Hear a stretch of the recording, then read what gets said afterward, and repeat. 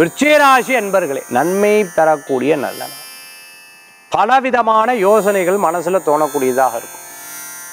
இன்றைய தினத்தை தொழில் திருமணம் வேலை கூட்டு தொழில் வேலையாட்கள் இது போன்ற விஷயங்கள்ல இன்றைய தினத்துல பேசுவோம் ரொம்ப இக்கட்டான விஷயங்கள்ல ஈடுபட்டு இருக்கும் இக்கட்டான விஷயங்கள் இருக்கிறவாளுக்கு இக்கட்டான பிரச்சனைகள் இருக்கவா பிரச்சனை தீரும் கவலைப்பட வேண்டாம்.